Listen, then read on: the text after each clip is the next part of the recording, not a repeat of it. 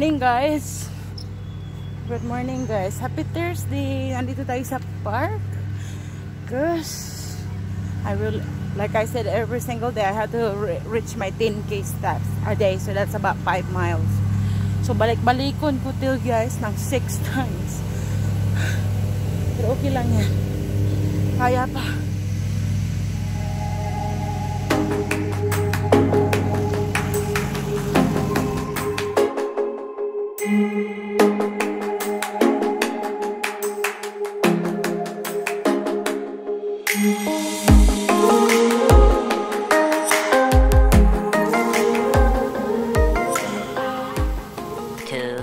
Thousand years later. Hi guys, welcome back. Napagod yung lula, no? Kanina pa, we've been here since 7 a.m. And kanina pa ako guys, I don't know how much uh, steps I got. Grabe talaga guys, no? Uh, so difficult to reach your, ano, yung goal. And, um, but you know what? Don't give up do not don't give up guys because you know my god reaching the 10,000 steps a day it's really really difficult because you have to focus you have uh, you I know my feet it's really burning right now guys let me check kung nakailan tayo alright so let me check my my GPS because I put my GPS in here. So let's see um, how far I did eh, or how far I go. So actually I did about 1 hour and 14 minutes of workout. Eh, that's 2.58 miles. So ayan siya ayan siya ngayon oh, ayan siya. So um that's not enough that's not enough guys hindi ako masaya ano ba I'm not happy sa aking nagawa today. I only burn I only burn 330 calories, guys. I feel like those are not enough. And yeah, look at this, guys. Um, yeah, guys, kailangan, I need another five, I only did 5,238 steps. Um, I need to do more, guys. I need to do more, at least one more hour. Um, grabe, oh my God. Ang, sa ang sarap lumamon. Being honest with you, eh, I love to eat. And I realize that now, guys, the more you eat, the more you really have to work out because of the calories you put in. And you have to watch out on anything you put them in your mouth, guys, because, like, my God, right now that I've been working out, I walk for like you see an hour and 14 minutes and I only burn 330 calories? Perting kapuya oy! Grabe ka kakapoy magpa 60 jay Grabe. But you know what? Nothing is easy and you have to work for it if you really want to lose weight guys you have to work it I know back in 2018 I was very um motivate. Motivate myself kasi yung time na yun, isa pa yung anak ko si Mason pa lang.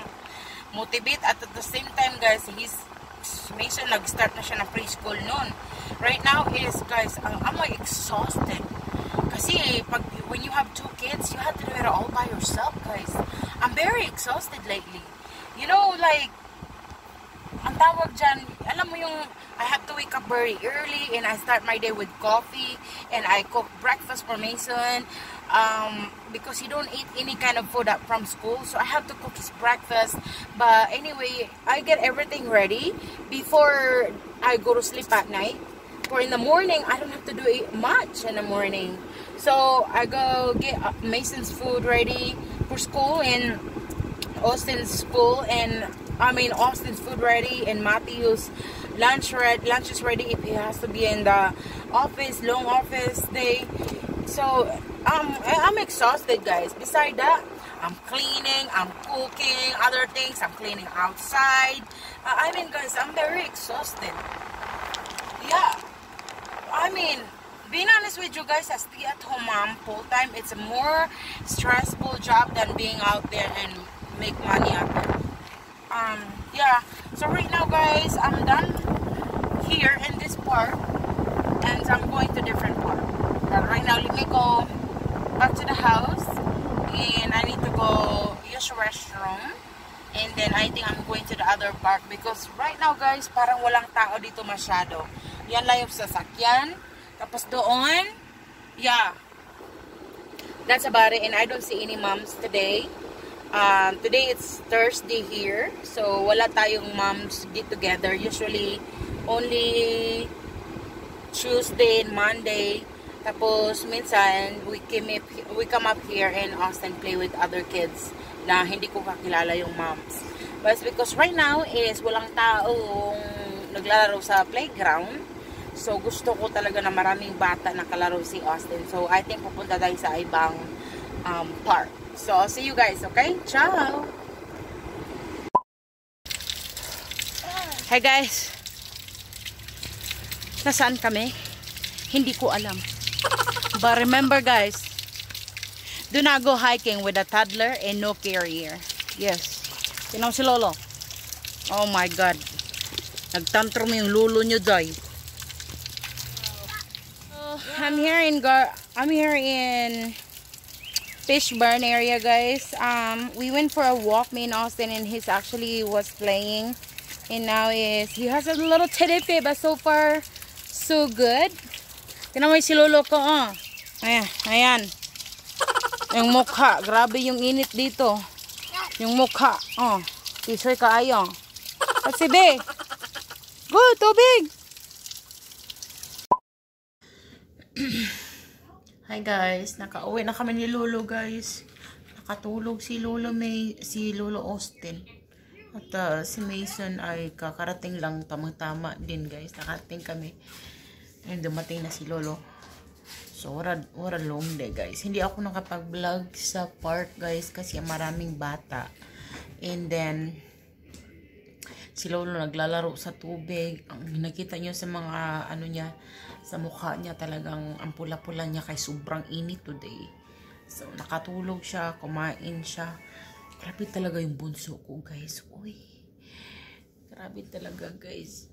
Alam mo yung pag may nakakita lang, nakita lang yung pagkain doon, kahit marami na kami pagkain dala sa bag, talagang gusto pa rin niya talaga yung pagkain ng ibang tao talaga, guys. Grabe talaga. Na ako talaga yung hiyang-hiya. Oh my God. So, mag, mag-hike si Mr. mamaya-maya at kami ni Mason. Dito lang kami sa bahay para magluto ako ng dinner. And, um, si Mr. at saka si Austin ay magano sila guys, magbike sila sa sa park. So, sila na lang ang pupunta kasi si Austin is mahilig siyang mag-ride sa bike. Yung maliit na ano na kung saan nag, nagbabike Mr. at na, nasa likod sila. But anyway, I uh, see you guys in bit. Mag-ano lang muna ako guys ha. Kasi i-on ko yung grill maya maya na para i-ano ko siya. Um, i-grill ko yung aking minarinate na chicken. So, alright guys. Ciao.